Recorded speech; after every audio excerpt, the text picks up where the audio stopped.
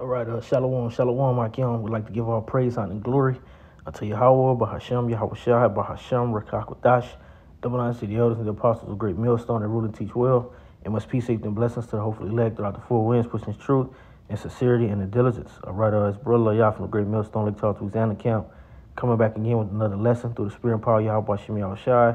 And as always, you know, Lord, will it be edifying to the Lord's elect. All right, you know, and, uh, through the spirit, man, you know, just want to get into this uh, brief topic you know, uh, the vision that Daniel had. And ultimately, man, it lines up perfectly, you know, with a, a prophetic and biblical times. All right, which ultimately shows us what we should be looking for and being a part of, you know, as Yahweh Shai, you know, uh, begin to come and crack those clouds. All right, so this is Daniel chapter 7 and verse 8. All right, and this is, uh, you know, without a shadow of doubt, this is that kingdom, you know, that last kingdom that will spring up before Yahweh Shai coming you know, to, to destroy the wicked, all right, and ultimately uh, redeem the elect, okay, from this wicked, present, evil world. All right, so this is Daniel chapter 7 and verse 8, man. And this ultimately, too, you know, uh, you for the rain, but this is ultimately, too, a great comfort, all right, because this shows us that what the Lord will deliver us out of the land of the north, okay? So this, this is Daniel 7 and 8. It says, And I considered the horns, and behold, there came among them a little horn before whom there were the three of the first plucked up, and the little horn is speaking about America, all right, that rose up from uh, what uh, the Roman Empire, okay. America is uh, Rome revamped, okay. It says, uh, before whom there were three of the first horns plucked up by the roots, and behold, in this horn were eyes of the eyes of man, and a mouth speaking great things, man, because what they were uh, uh, arrogant, all right, they were uh, prideful. All right, this is the vibration that this present world ultimately, uh, uh, all right, pushes. The vibration that they push is what totally off pride. All right, they speak great things against the Most High. All right, as it speaks about in Second Thessalonians, the second chapter. Right, they like to show that uh, themselves are God in the temples. All right, now they're uh, uh soon to uh, push greatly at a, a, high velocity the MOTB. All right, which is the RFID chips okay, to what have total uh, dominion and total control. All right, but what one thing's for certain, two things for sure. Yahweh Shemiel Shah is not gonna leave the, the remnant, all right, of his nation into the hands of the wicked. Okay, that's the whole reason why what Yahweh Shah is gonna come. Okay, he says what he's gonna ultimately return like a thief in the night.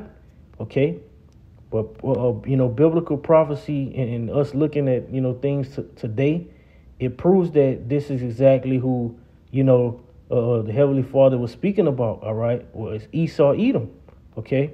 This is Revelation chapter 13, okay, going into um, this devil speaking great things. This is uh Revelation 13 and uh let me see.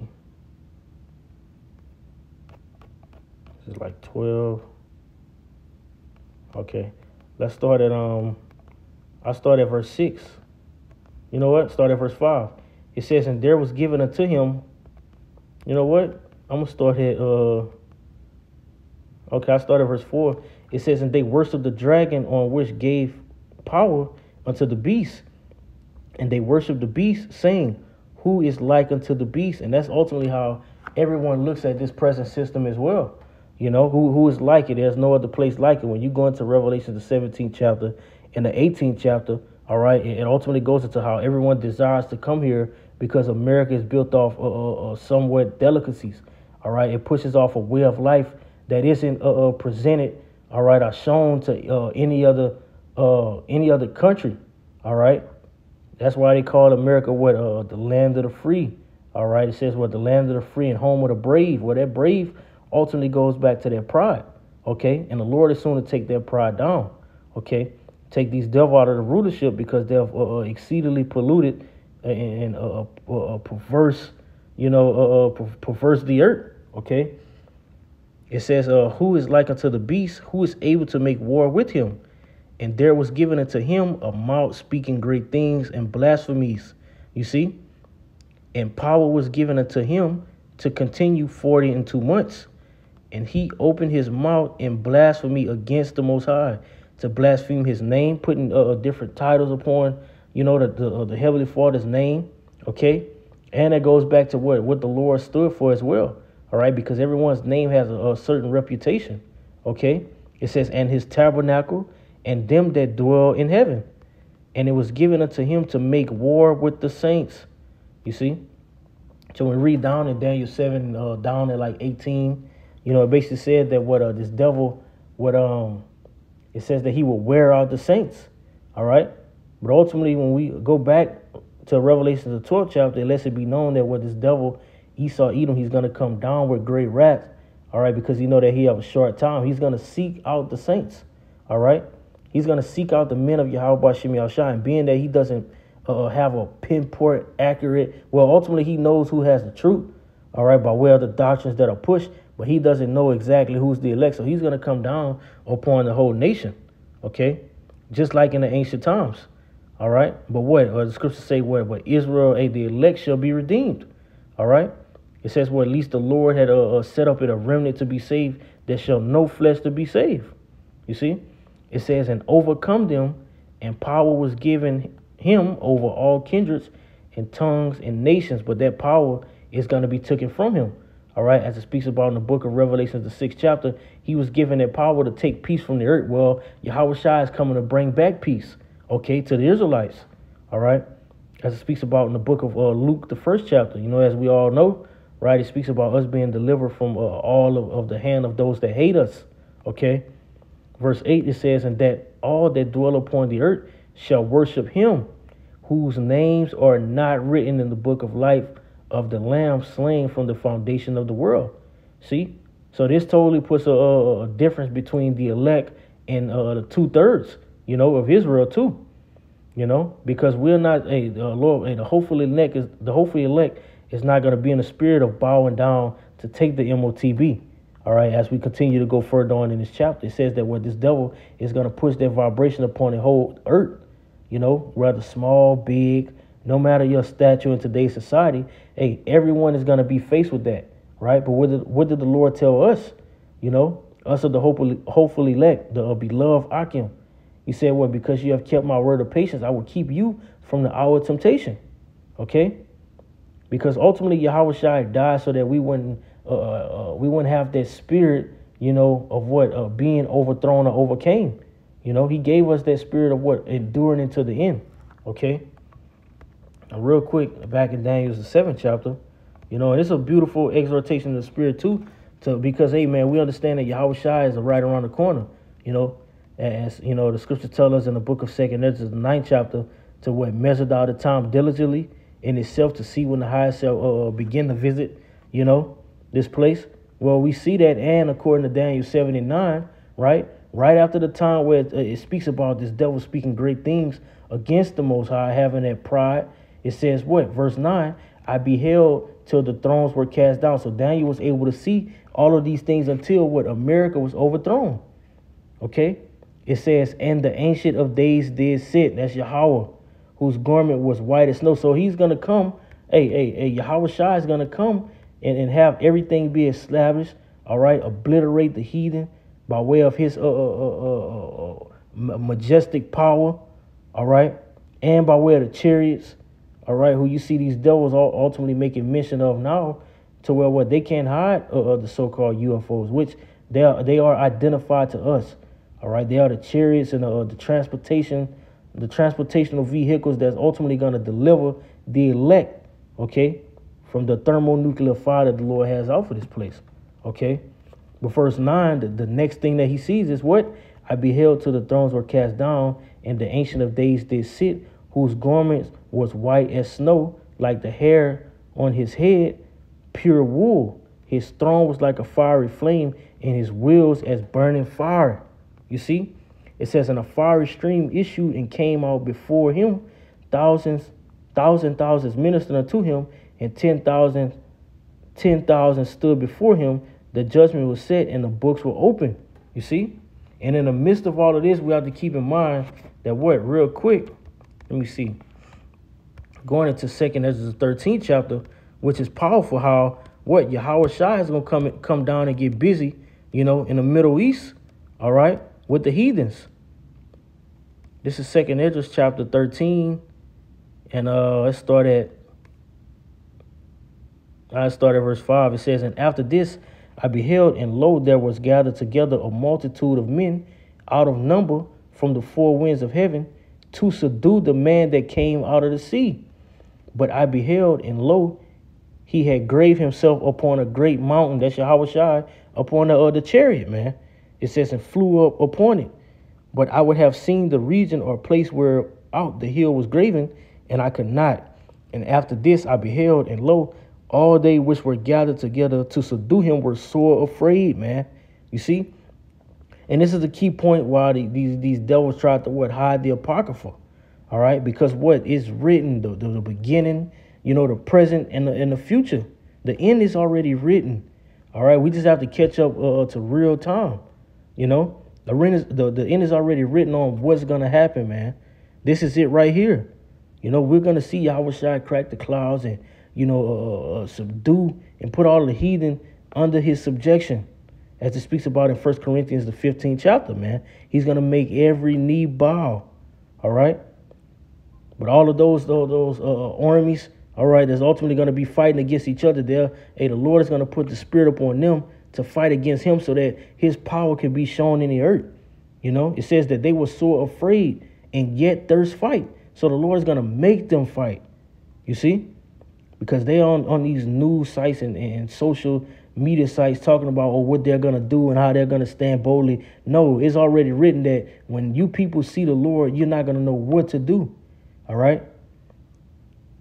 Verse 9 it says, And lo, as he saw the violence of the multitude came, he neither lift up his hand, nor held sword, nor any instrument of war. But I only saw that he sent out of his mouth as it had been a blast of fire, man. And that's talking about the chariots. Okay? It says, and out of his lips a flaming breath. So fire is coming for you. Thermonuclear fire and fire from the chariots of Yahweh Shai. It says, and out of his tongue he cast out sparks and tempests, and they were all mixed together, the blast of fire, the flaming breath, and the great tempest, and fell with violence upon the multitude which were prepared to fight, and burned them up every one so that upon a sudden of an innumerable multitude, nothing was to be perceived, man. So you you peon ass heathens don't stand a chance. Okay? You can put your trust in your so-called defense system. Hey, that's not gonna protect you from the hand of Yahweh Shem Shai. All right. It says, but only dust and smell of smoke. So that's ultimately gonna be the end.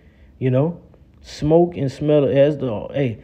Uh, it says, well, it's not gonna be a blade of grass left here. How much more over there, man?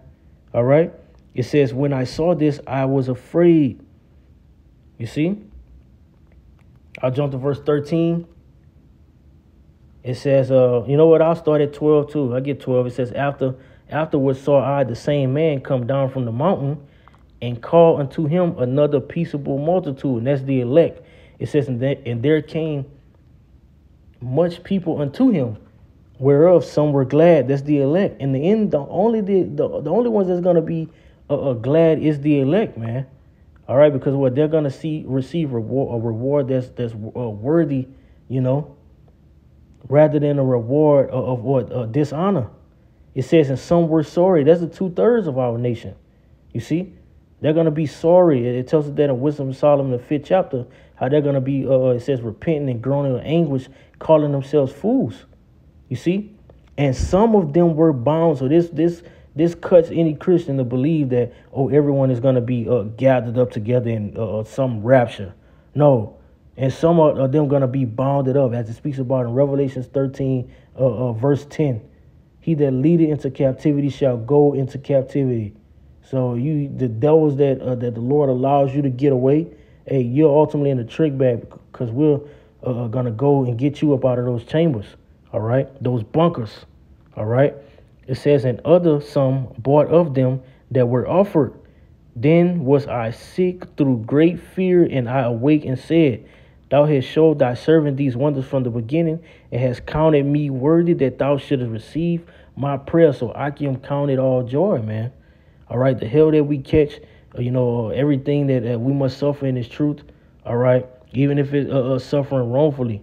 You know, no matter what, hey, it's being received of Yahweh by Shem Shah, man, because as it speaks about in the book of Romans, the eighth chapter, hey, the things, uh, it says the uh, present sufferings are not worthy to be compared with which we shall receive. It's written what we shall receive, man. But just imagine uh, uh getting beamed up into the chariots and, you know, uh, seeing the angels and seeing Yahweh Shai and hearing Yahweh Shai say, uh, uh, well, well done, thy good and faithful servant. You'll finish your course. Now it's time to rule and, you know, get the earth back reestablished. You see?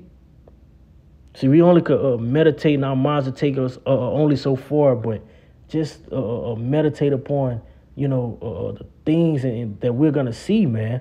The vibrations we're gonna have, the new bodies being able to uh, not uh, go off ever again. You know, it's already written in, in what through the spirit power Yahweh Shem Shai. Hey, about us being the servants of the Lord, He showed us, man. Lord willing, we can endure to the end to be worthy. You know. That's all we got to do, is continue to, to you know, uh, uh, strive to be worthy, you know. So keep laboring as it speaks about what our labor of love is not in vain, man. Hey, Dan, you seen, you know, that, that statue and the, the vision of the kingdoms uh, uh, rising up and the kingdoms being plucked out and falling, you know. So like it said in Daniel 7, when you read down in the latter verse, hey, just how them other kingdoms was plucked up, the same thing with America. This place is about to be obliterated, you know. And no one can stop the judgment that Yahweh Shem Shah has set up for this place. Okay? So I can keep on pushing a Habathum. You know, Lord willing, this was a, a, you know, exhortation and comfort in the spirit. But hey, man, our kingdom is indeed coming, you know. But wait, what do you, uh, Yahweh Shem Shah say? Wait ye upon me. So we got to wait, man. All right, so with that, Lord willing, uh, once again, Lord willing, you know, it was edifying. I'd like to give all praise, honor, and glory to Yahweh, Bahashem, Yahweh Shai, Bahashem, Rakakwadash, double honors to the elders, the apostles of great millstone, that rule and teach well, and much peace, safety, and blessings to the hopefully elect throughout the four winds, pushing his truth and sincerity and in diligence. Till next time, Shalom.